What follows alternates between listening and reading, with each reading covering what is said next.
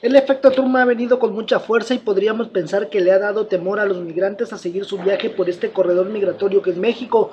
Antes se hablaba mucho del sueño americano, el fenómeno migratorio ha disminuido en la frontera norte por el muro, por las deportaciones, pero se está embotellando en la frontera sur el flujo de migrantes, sino que ahora tienen el sueño, tienen el sueño tapachulteco, dijo el coordinador de la pastoral de la movilidad humana de la diócesis de Tapachula, César Augusto Cañaveral Pérez. Manifestó que los migrantes centroamericanos ahora buscan lo que han denominado el sueño tapachulteco, debido a que ya no esperan llegar a los Estados Unidos, sino radicar en la frontera sur de México. Efecto, podríamos llamar el efecto Trump a este ha, ha, venido con mucha fuerza que ha podríamos pensar que ha, le ha dado temor hoy a los migrantes ya seguir en este corredor migratorio, ¿no?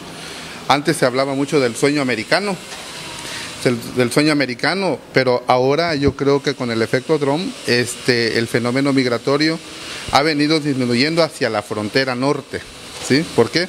Por el muro, por las mismas deportaciones que está haciendo él, pero se está, está, este, se está embotellando aquí en la frontera sur el, el, flujo de migrantes, ¿no? No solamente ahora ya no hablamos de, de, de, migrantes económicos, que ellos siempre tenían el, el sueño americano, ¿no?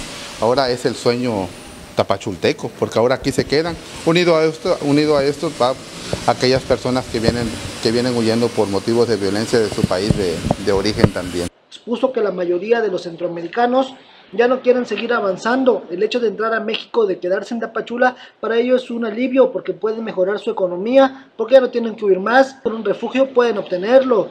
Subrayó que la mayoría de las familias inmigrantes que salen de los países centroamericanos se ven obligados a viajar por los problemas de delincuencia generados por las pandillas como la Mara Salvatrucha. Precisó que muchos migrantes buscan lograr el estatus de refugio pero intentan pasar desapercibidos para evitar ser víctimas de delitos de discriminación así como buscar algún empleo para mantener a sus familias.